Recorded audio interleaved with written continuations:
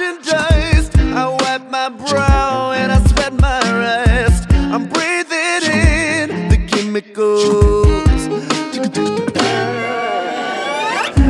I'm breaking in shaping up, then checking out on the prison bus.